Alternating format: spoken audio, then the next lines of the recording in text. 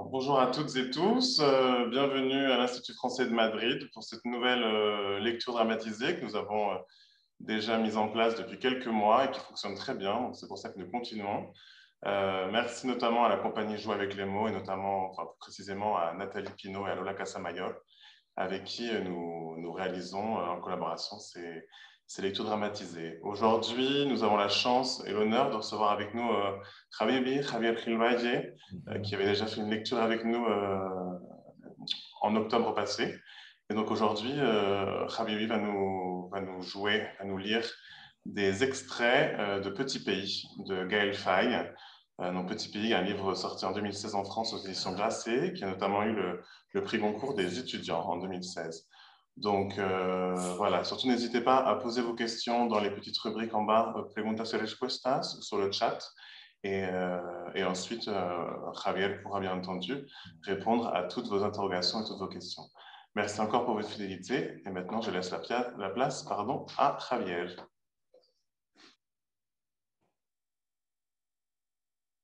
Pas un jour sans que le pays ne se rappelle à moi. Un bruit furtif, une odeur diffuse une lumière d'après-midi, un geste, un silence, parfois suffisent à réveiller le souvenir de l'enfance. Tu n'y trouves rien, à part des fantômes et un tas de ruines. Ne cesse de me répéter Anna, ma sœur, qui ne veut plus jamais entendre parler de ce pays maudit, le Burundi. Je l'écoute, je la crois, oui, elle a toujours été plus lucide que moi. Alors, je chasse cette idée de ma tête. Je décide une bonne fois pour toutes que je n'y retournerai plus. Ma vie est ici, en France. On est d'accord?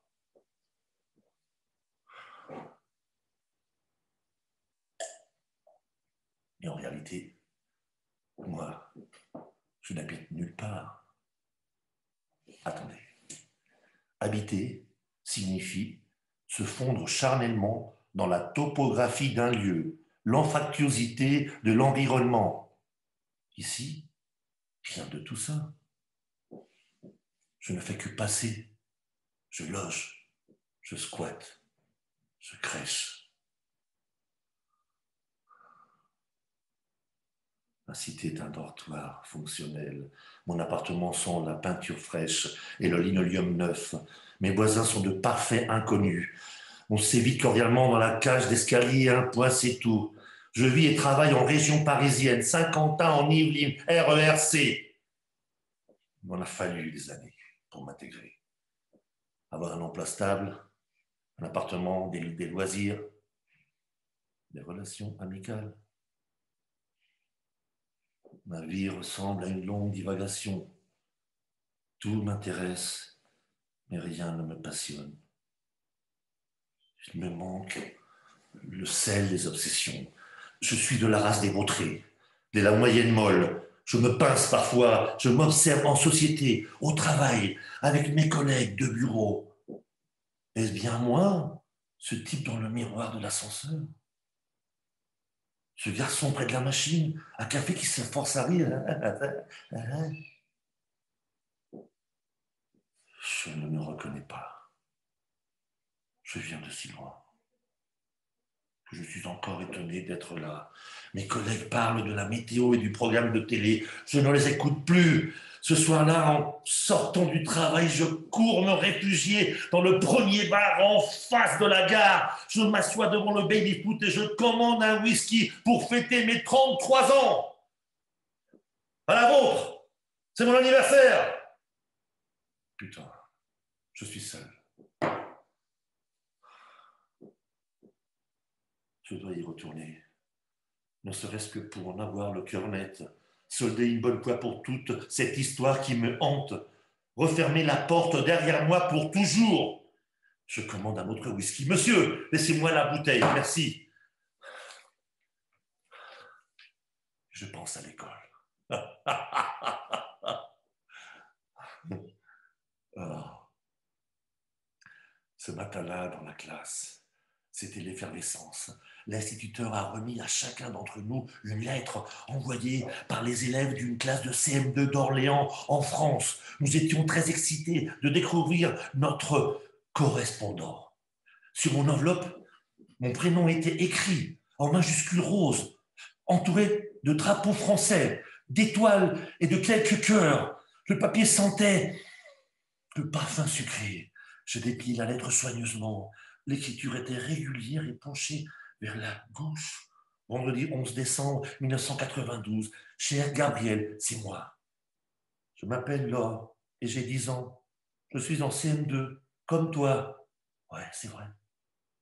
J'habite à Orléans, dans une maison avec un jardin. Je suis grande, j'ai les cheveux blonds jusqu'aux épaules, les yeux verts, des taches de rousseur.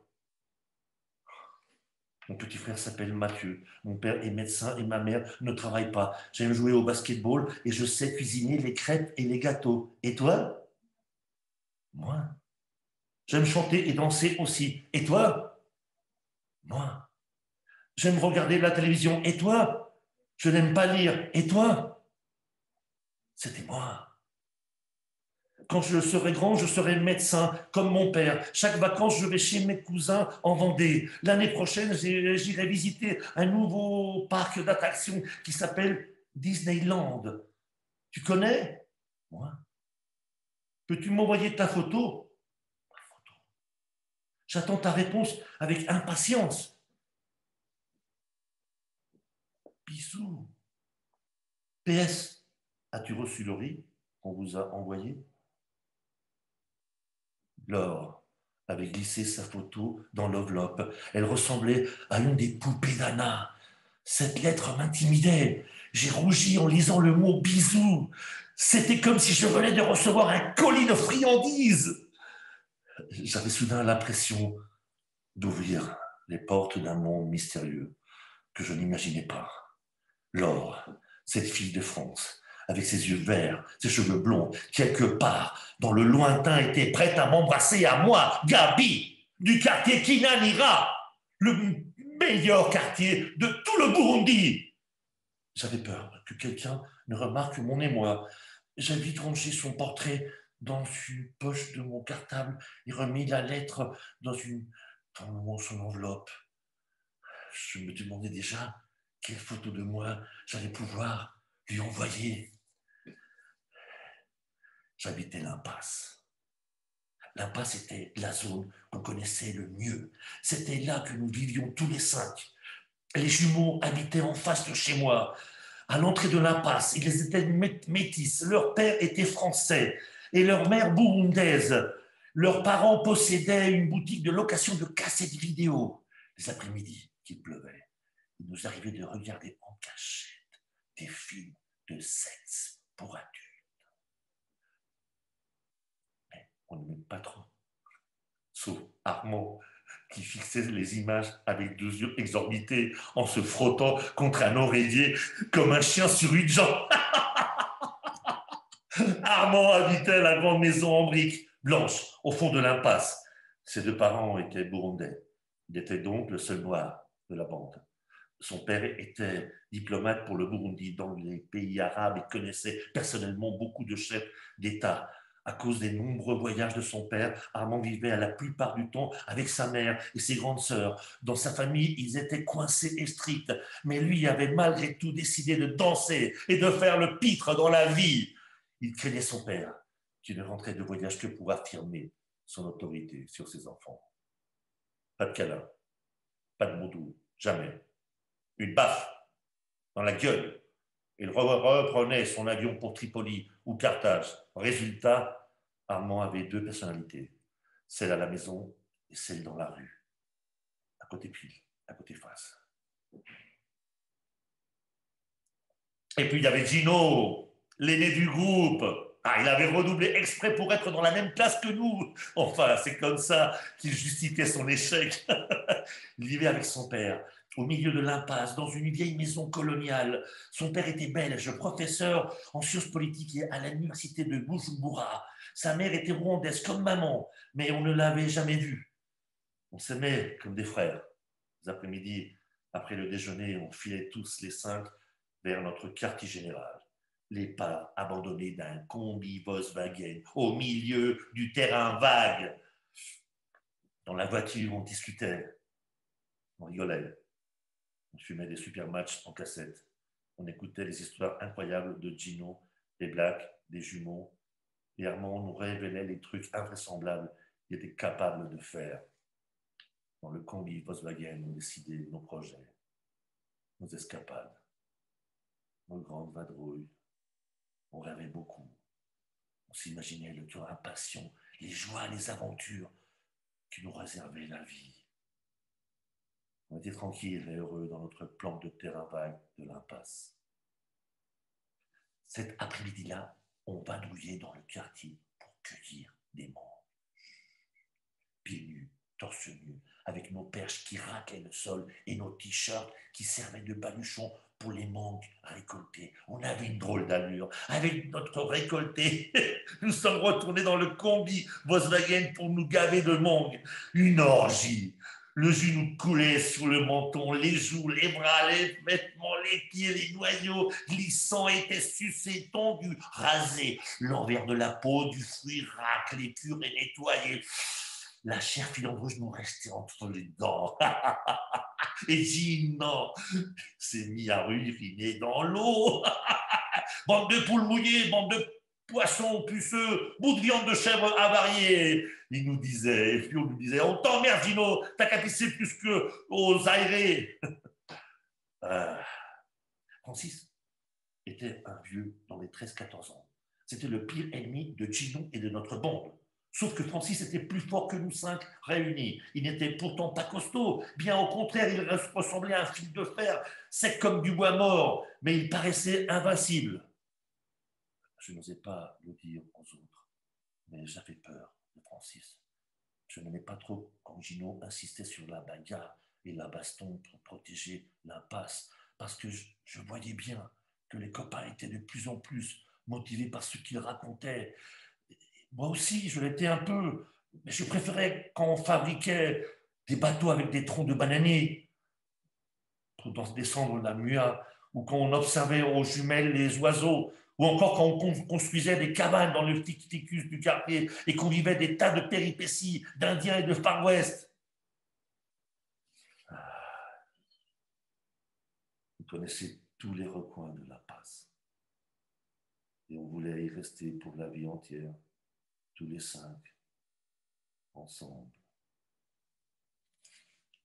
Un whisky, s'il vous plaît, monsieur.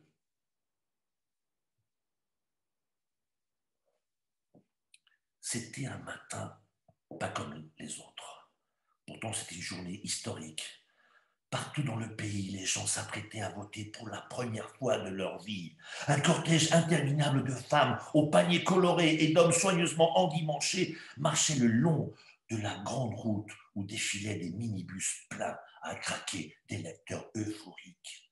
Sur le terrain de football, à côté de la maison, le monde affluait de toutes parts.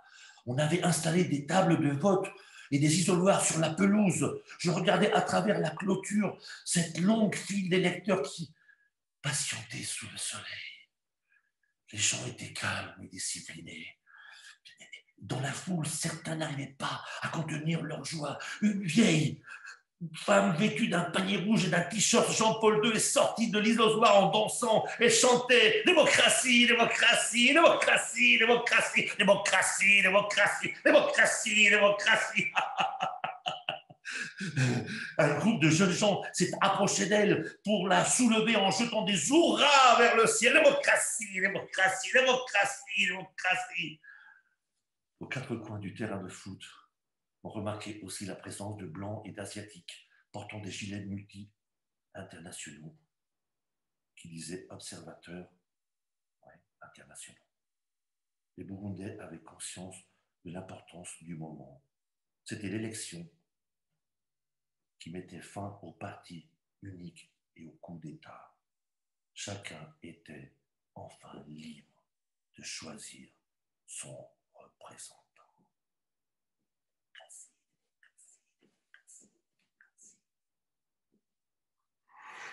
le lendemain, C'était étrange. Rien ne bougeait. Dans l'attente des résultats, la ville était anxieuse. À la maison, le téléphone sonnait sans arrêt. Notre jardin était vide, le gardien avait disparu, très peu de voitures circulaient dans la rue. Un contraste impressionnant avec l'allégresse de la veille. Et papa n'était pas encore rentré. Vous avez laissé seul toute la nuit, Anna et à moi. Finalement, une voiture s'est approchée. J'ai reconnu le klaxon. Je me suis précipité pour ouvrir le portail. Papa avait. Il avait un visage grave et des cernes sous les yeux.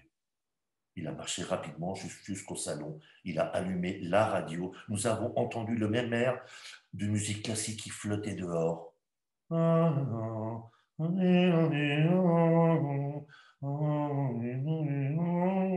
Il a mis la main sur son front en répétant Merde, merde, merde. Plus tard, j'ai appris que c'était une tradition de passer de la musique classique à la radio quand il y avait un coup d'État.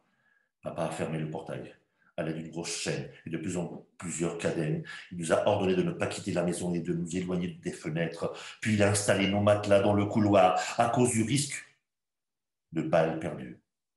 Nous sommes restés toute la journée allongés par terre. Papa s'est renfermé dans sa chambre pour passer des appels. Quand j'ai entendu gratter dans la cuisine, je suis allé voir discrètement Dino essoufflé, se tenait derrière les barreaux et j'ai chuchoté Je ne peux pas t'ouvrir. Mon père a fermé la maison à double tour. Comment es-tu rentré dans la parcelle bah, Je suis passé par-dessus la clôture. De toute façon, je ne restais pas longtemps. Au courant Oui, je sais. Il y a eu un coup d'État. On a entendu la musique classique. Les militaires ont tué le nouveau président. Quoi? Je te crois pas, jure-le. Je te jure. Un journaliste canadien a appelé mon père pour lui dire ils l'ont assassiné, ils sont assassinés, ils ont aussi tué le président de l'Assemblée nationale et d'autres grands boinas du gouvernement. Paraît que des massacres ont commencé partout à l'intérieur du pays. Gino est reparti en courant. Il avait l'air complètement excité par la situation, presque content que des choses graves arrivent. Moi, j'étais perdu. J'avais du mal à réaliser l'assassinat du président.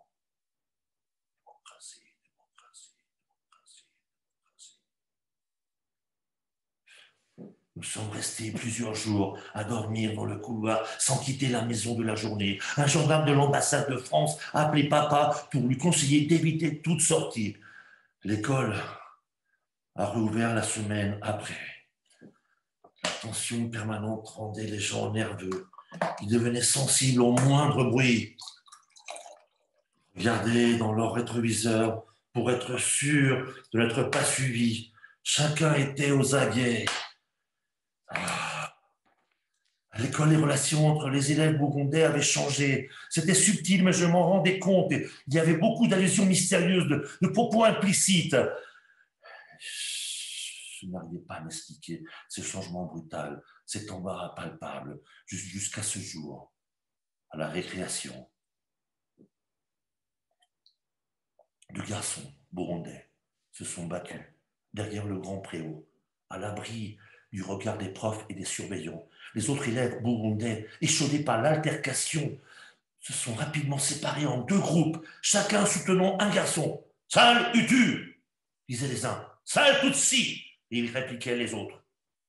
Utu Tutsi Utu Tutsi Utu Tutsi Cet après-midi-là, pour la première fois de ma vie, nous y entrés dans la réalité profonde de ce pays. J'ai découvert l'antagonisme Hutu et Tutsi. Infranchissable ligne de démarcation qui obligeait chacun à être d'un camp ou d'un autre, Hutu ou Tutsi. Moi qui souhaitais rester neutre, je n'ai pas pu. J'étais né avec cette histoire. Elle coulait en moi. Je lui appartenais. Une profonde anxiété s'était abattue sur la ville. Les adultes avaient le sentiment de l'imminence de nouveaux périls. Ils craignaient que la situation dégénère comme au Rwanda. Alors, on se barriquait toujours un peu plus. Vigile, alarme, barrière, portique, barbelé, tout un attirail rassurant nous persuadait que l'on pouvait écarter la violence, la tenir à distance. On vivait dans cette atmosphère étrange, ni paix ni guerre. La sécurité était devenue une sensation aussi banale que la faim, la soif ou la chaleur. Un jour, à l'heure de pointe, j'avais assisté au lynchage d'un homme devant la poste centrale. Papa était devant dans la voiture. Il m'avait envoyé récupérer le courrier dans notre boîte aux lettres. Je croisais les doigts pour avoir des nouvelles de l'or.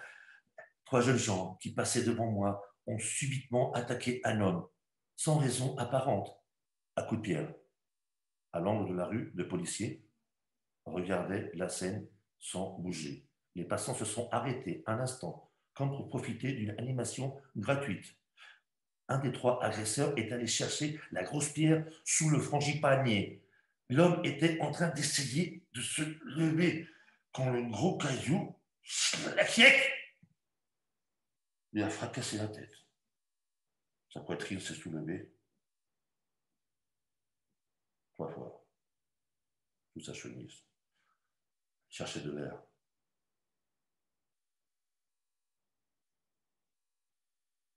et puis plus rien. Les agresseurs sont repartis tranquillement et les passants ont repris leur route en évitant le cadavre comme on contourne un compte de signalisation. Depuis quelque temps, des hommes en assassinaient d'autres en toute impunité sous le même soleil de midi qu'autrefois.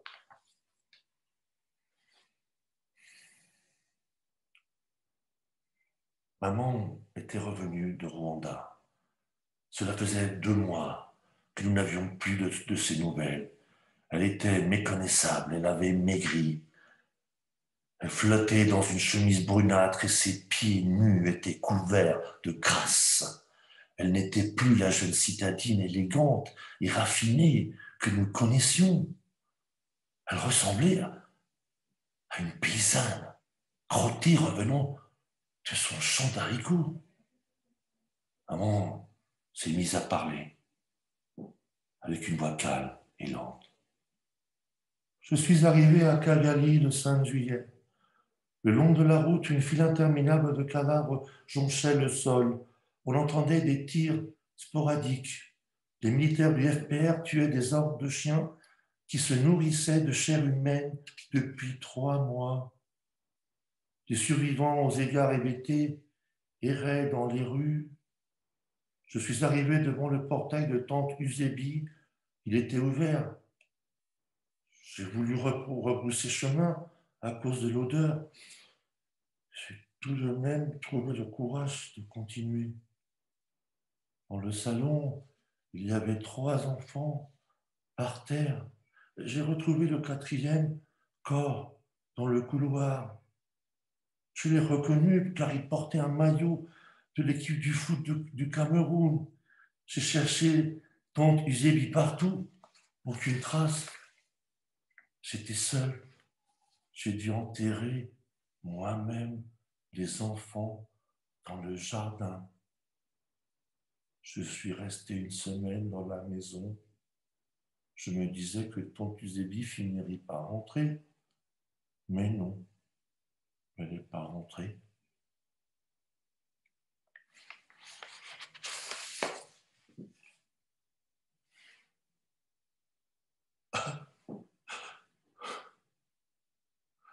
Papa avait fait des provisions pour plusieurs jours. On se préparait à de longues journées d'attente. J'étais allé chercher mon stock de livres chez Madame Economopoulos et j'étais en train de me verser un grand verre de lait caillé avant de m'enfuir dans mon lit pour dévorer mes histoires quand j'ai entendu Gino gratter à la porte de la cuisine. Qu'est-ce que tu fais là? J'ai chuchoté en ouvrant. C'est de la folie de sortir aujourd'hui. Arrête de flipper en permanence, Gabi. Allez, ramène-toi il s'est passé quelque chose de grave, et de très grave. Hein. J'ai enfilé mes chaussures en vitesse. Dans le salon, j'entendais les rires de papa et Anna qui regardaient des dessins animés. Je me suis glissé dehors sans bruit et j'ai emboîté le pas à Gino qui fonçait comme une flèche. La végétation m'avait poussé et depuis la route, on ne voyait plus notre combi Volkswagen. avant de rouvrir la porte de la planque, j'ai eu comme un mauvais pressentiment. Quelque chose me, me disait de rentrer à la maison, de retourner dans mes livres. Gino ne m'a pas laissé le temps de réfléchir. Il a fait coulisser la porte. Armand était postré sur le siège poussiéreux du combi, les vêtements couverts de sang. Sous-cils froncés, Gino grinçait les dents. Son père est tombé dans une embuscade hier soir, dans l'impasse. Armand vient de rentrer de l'hôpital. Il a succombé à ses blessures. C'est fini. Son père est mort. Le père d'Armand.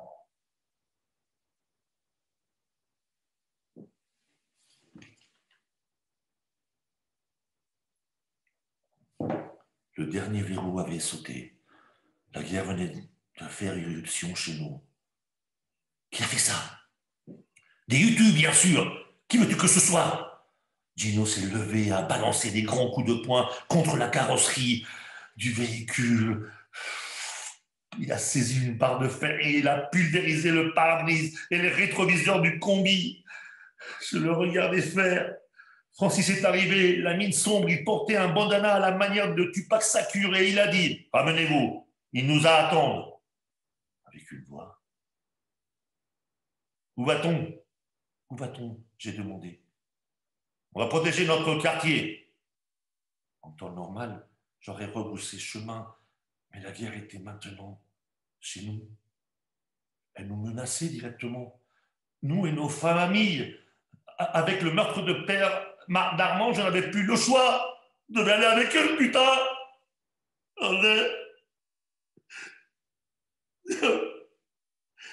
La mort était venue jusque dans notre impasse. Je vivais ici, dans cette ville, dans ce pays. Je ne pouvais plus faire autrement. Alors j'ai avancé avec mes copains. Putain de merde. Au bout du chemin, un taxi nous attendait. Francis nous a fait signe de monter. Le taxi est arrivé sur un promontoire. Nous sommes descendus de la voiture. D'autres jeunes du quartier se trouvaient là, des fils de bonne famille que je prenais pour des gentils étudiants qui s'étaient armés de bâtons et de pierres. Un homme salement amoché glissait au sol. La poussière rouge recouvrait son visage et ses vêtements se mélangeaient au sang coagulé qui coulait d'une plaie sur le haut de son crâne. L'homme à la Kaslamikov, que les autres appelaient Clapton, a pris Armand par le bras et lui a dit Ce Utu est l'un des assassins de ton père. Armand n'a pas bougé. Clapton a frappé l'homme le premier et les autres l'ont imité. Les coups pleuvaient. De tous côtés, Gino et Francis, poussés par l'excitation, se sont meulés à la meute.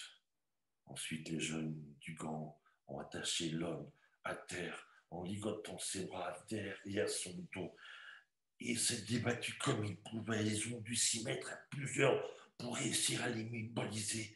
Dans la confusion, sa carte d'identité a glissé de sa poche. Elle est tombée dans la poussière. Après l'avoir attaché, les hommes l'ont porté dans le taxi. Le chauffeur à la cicatrice a pris un bidon d'essence dans le coffre et on a versé sur le siège de la voiture sur le capot avant de fermer euh, les portières. L'homme hurlait sans arrêter, terrifié, il nous suppliait de l'épargner. L'homme, sans arrêter, terrifié, nous suppliait de l'épargner.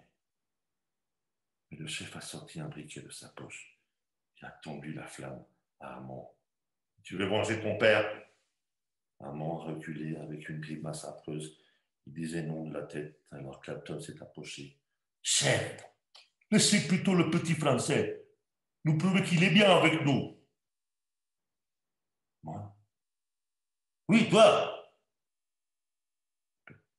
Moi? Il s'est approché de moi, le zippo allumé à la main, mes tempes et mon cœur battait à tout rompre. J'ai tourné la tête à droite, à gauche, trouvé de l'aide, j'ai cherché Gino et Francis dans le groupe. En croisant leur regard, j'ai vu qu'ils portaient le même visage de mort que les autres. Le chef a refermé la main sur le briquet. Il m'a ordonné de le jeter.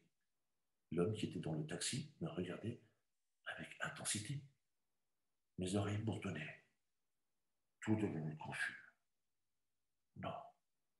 Un lieu jeune du grand me me frappait, hurlait près de mon visage.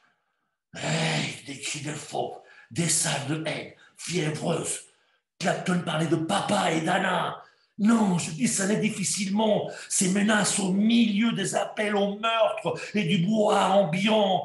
Le chef s'était énervé et a dit que si je ne le faisais pas, ils iraient lui-même dans l'impasse. Ah, je voyais l'image paisible de papa et Anna allongés sur le lit, devant la télévision, l'image de leur innocence, de tous les innocents de ce monde qui se débattaient en, à marcher au bord des gouffres. J'avais pitié pour elles, pour moi, pour la pureté gâchée, pour la peur dévorante qui transforme tout en méchanceté, en haine, en mort, en larmes. Tout était flou autour de moi. Les vociférations s'amplifiaient. L'homme dans le taxi était un cheval presque mort, mais putain.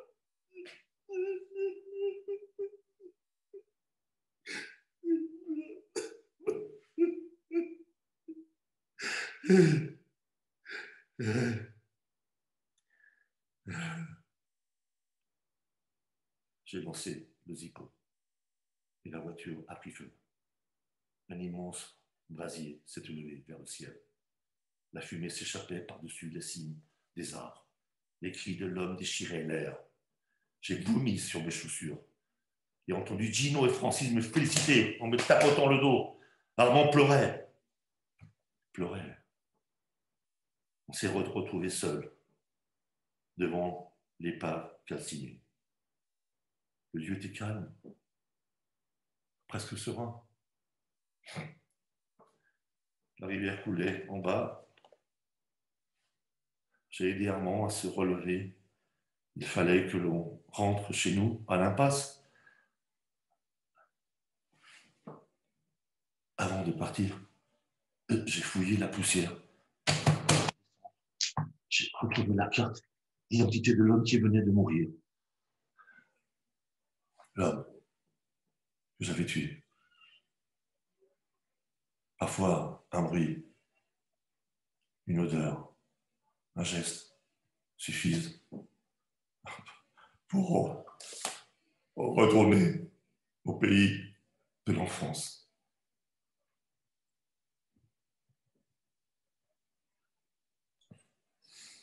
Merci. Merci Javier, merci beaucoup. On va peut-être laisser quelques, quelques minutes à, notre public pour vous poser des questions, quelques commentaires sur cette euh, interprétation de Petit Pays de Gaël Faye. En tout cas, merci à vous, hein. merci, euh, merci pour euh, votre participation. C'était vraiment wow.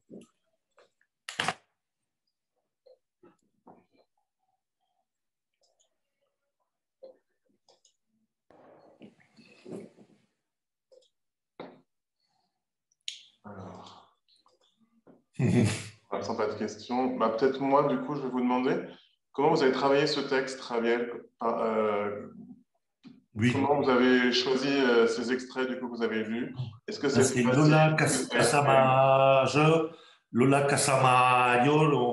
avec. Euh, parce que j'ai vu que Lola était connectée, donc on la salue. Oui, et Lola a fait, a fait un très joli débroussement. Euh, elle a fait le grand travail de faire la sélection des textes qui étaient coordonnés entre eux. Et moi, j'ai continué à faire ce travail pour m'adapter au temps, à la mesure euh, de cette séance. Et alors, j'ai refait un, sur le travail de Lola, un, un, comment on dit ça en espagnol, un, autre petit mon, mon, montage, un découpage, quoi.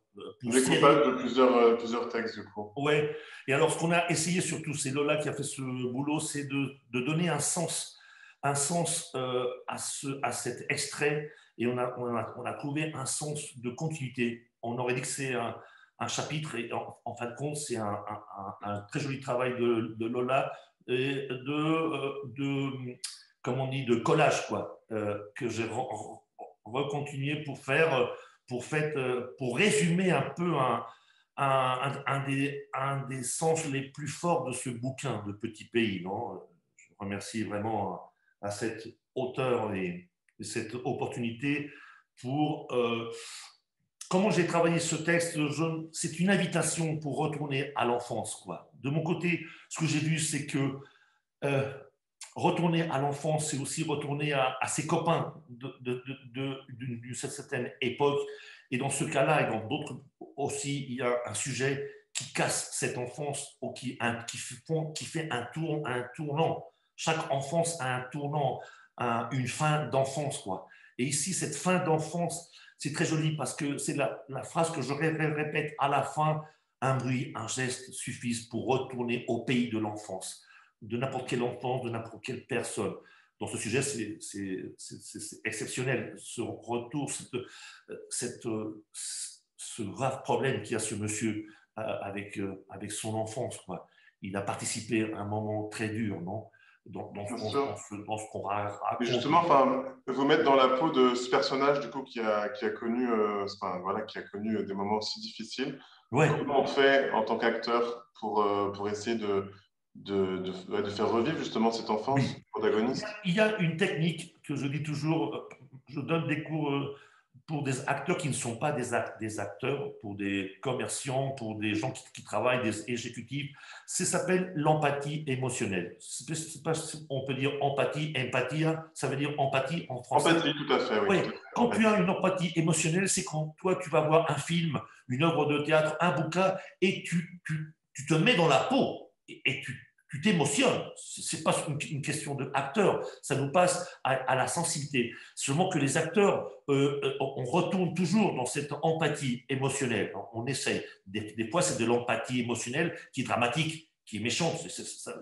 les, émotions sont très différentes. Il, faut travailler avec elles. Mais euh, c'est tellement bien écrit que, comme toujours, je dis que le chemin est tracé. Il nous invite beaucoup aux acteurs qu'on aime les émotions, qu'on aime transmettre. Parce qu'il faut dire que quand on fait de la comédie, on fait une tragédie, ce qu'on est, c'est on est des interlocuteurs. Voilà. Moi, de plus en plus, je pense qu'on est des témoins, des témoins et qu'on s'efface pour que l'histoire gagne. Quoi. Et ce qu'on pense, c'est comment raconter l'histoire pour que l'histoire gagne de plus en plus. Quoi dans ce boulot d'être encadré et de essayer de faire passer une histoire avec quelques gestes, c'est déjà un boulot tellement intéressant. C'est tellement intéressant pour n'importe quel acteur. C'est pour ça que j'adore que vous comptez sur moi, que mes copines comme Lola et, Nathalie Pipino pensent à moi. On est, en train de, faire ce petit boulot de, mettre en. et j'aime beaucoup parce que c'est euh, comment dire en, en, français un reto? Comment dire un, défi, un défi. Un défi. Voilà. Euh, la vie est un défi. La vie pour un acteur est un défi. Les acteurs, on, travaille sur des défis, euh, sur, surtout les écrivains, aussi les créateurs, et notre vie est un défi. Et c'est un vrai défi essayer de transmettre en, en, essayant de, de, lire, de ne pas perdre la vue avec. c'est ça justement. Est-ce que c'est pas un défi justement de faire ça euh, dans un bureau, euh, devant un écran, sans avoir la réaction des, du public Oui, parce qu'il y a aussi un des instruments très forts que les actrices et les acteurs ont travaillé. Je pense que c'est le premier, c'est ce qu'on fait quand on est gosse. Euh, être acteur, ça vient de la vie réelle. le théâtre, c'est un miroir, c'est pas un truc étrange. Quand on, est, on était gosse, qu'est-ce qu'on faisait? On imaginait. On s'imaginait être Zorro ou être je sais pas quoi. Alors l'imagination, c'est pour moi un des souffles, c'est l'énergie la, première qui, qui, nous emporte pour euh, quand on fait des épreuves pour un casting de cinéma, on n'est pas habillé avec le personnage. C'est dans, dans un, un, bureau comme ça, on doit imaginer. Et cet effort d'imaginer pour recréer physiquement la voix, des gestes, c'est ça le métier d'acteur, mais c'est aussi le métier de beaucoup de travailleurs qui sont en relation avec les publics et qui doivent, que quand, tu as un problème et tu, dans notre vie, on se croise avec des gens qui, qui font une mise en scène géniale. Il y a des fois, j'ai eu de la chance dans la vie grâce à une mise en scène d'une personne qui, qui m'a écouté, qui a fait une empathie et qui a dit, je vais voir si je peux vous, solutionner. Des choses qui n'étaient pas dans son écrit, dans son truc de, de, de fonctionneur, et puis il a fait ça. Et c'est ce qu'on aime les acteurs. Une créativité, comme la vie, a besoin de créativité. Quand dans la vie, on, euh, comment je dis ça, quand on est ébloui par la surprise, tiens, il m'est arrivé ça. C'est le plus beau dans la, dans, dans, la vie, pour le pire ou pour le meilleur, euh, une surprise. Tu ne sais pas comment tu t'es, comment tu as euh, réagi avec cette surprise. Et c'est ça qui est intéressant dans la préparation d'une lecture, parce que c'est une lecture, on, prépare, on a un certain temps, mais c'est aujourd'hui des choses comme dans le théâtre, ont surgi différentes, ce que j'ai fait chez moi, grâce à ce moment. Ici, j'ai vécu le texte dans des, dans des différemment. Et c'est ça, chaque jour au théâtre, on essaye les acteurs pour que ça ne soit pas le même jour qu'hier, que quelque chose arrive. Essayez de le faire, vous, dans votre maison, dans votre vie. Essayez de changer de chemin de retour ou de changer quelques habitudes. Ça rafraîchit beaucoup de nouvelles connexions. C'est ça qu'on fait, nous les acteurs, avec un même texte c'est un vrai défi, le travail des acteurs qui, un même texte, comment faire demain une chose pas tellement différente, mais nuancée pour trouver un peu plus d'informations que tu n'as pas retrouvé la veille, pour mieux peindre. Qu'est-ce qui fait un peintre ou un, un, sculpteur? Il retourne sur sa peinture, il retourne jusqu'à qui est son boulot. Quand il y a trois mois, quatre mois, cinq mois de théâtre, on peut dire qu'on est en train de maîtriser l'œuvre de théâtre. Ben, ici, on a tellement peu de, temps que chaque jour, chaque jour est une, une bonne provocation, une, un bon défi. Comme aujourd'hui, on a eu une lecture splendide. J'étais vraiment très ravi des choses que je sens.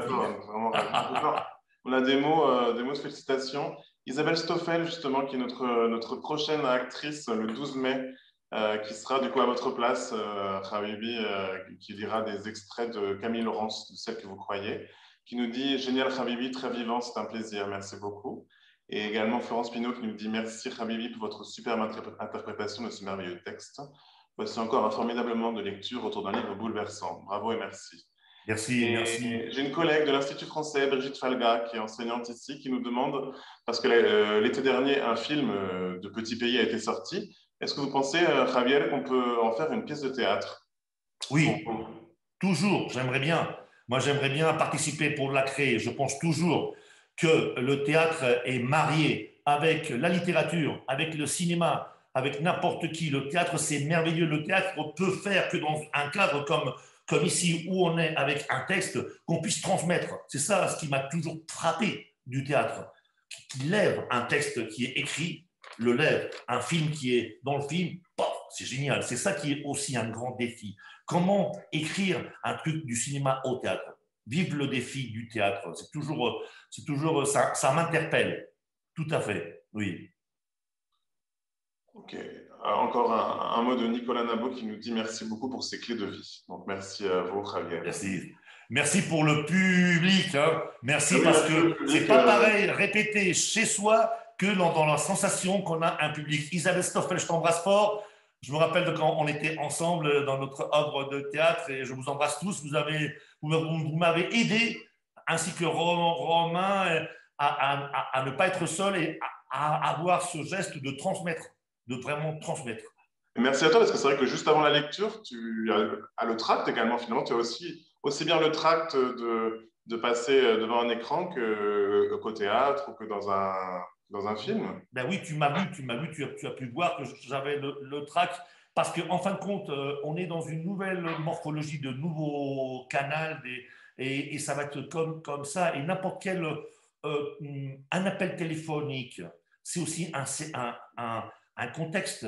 Euh, la télévision, voir quelqu'un quel, quelqu'un écrire, c'est-à-dire n'importe quel canal où tu dois te remettre tu dois, tu mets de ta part et tu dois, même quand tu fais une, une, une rédaction, il y a des gens qui ont le trac en examen, en même examen. Ça veut dire, le, le trac, ça nous accompagne. Nous, c'est vrai que les acteurs, on aime tellement ça parce qu'on aime beaucoup se projeter. Quoi. On aime beaucoup le défi de, de se lancer euh, dans, une piscine avec très peu d'eau. C'est ça, ça, que j'aime de notre métier, non? C'est un, un, un métier. Euh, je, disais quand j'ai commencé ce métier il y a des années, je, disais après les pompiers, les policiers, les militaires et les toreros, on est les cinquièmes à avoir plus de culot, plus, euh, plus d'engagement, plus c'est très fort se montrer à un public quand tu, as le trac pour parler à, des gens qui te sont en train de te... Moi qui étais un grand bégayeur quand j'étais petit, quand j'étais jeune, j'avais le trac même quand j'allais demander acheter du pain. Pour moi, ce moment d'aller acheter du pain, de dire qui est le suivant, c'était moi qui devais parler, c'était la catastrophe. Pour moi, le, théâtre m'a aidé comme à, beaucoup de gens, à moi, un des leurs, à, à, rendre le défi de pouvoir parler, de améliorer euh, tout, ça et en plus de pouvoir être euh, utile. Ce qui est important, euh, je pense, c'est le public. Sans public, le théâtre, ça n'existe pas. Tout à fait, tout à fait. Écoutez, merci. merci à vous, Javier. Merci à, à toutes et tous. Merci à Nathalie Pinault et Lola Casamayor pour leur grande aide. Ouais. Toujours et pour leur collaboration. Je embrasse très fort, Lola et Nathalie. Merci à elle. Et donc, je vous rappelle, euh, merci à Isabelle Stoffel d'être avec nous ce soir. Et voilà, donc euh, le mois prochain, le 12 mai, à 19h, toujours sur le canal Zoom de l'Institut français de Madrid, on aura la chance d'avoir euh, des lectures d'Isabelle Stoffel avec celle que vous croyez. Euh, qui en espagnol c'est Clara et Claire qui est sorti. Donc le livre est sorti euh, donc, de Camille Laurence. Et on aura également la chance de compter sur la présence de l'autrice de Camille Laurence qui sera avec nous. Donc, euh, donc voilà, on pourra également, vous aurez la chance de pouvoir, de pouvoir échanger avec, avec la comédienne et l'autrice. Donc merci à toutes et tous et une bonne fin de journée. Merci, au revoir.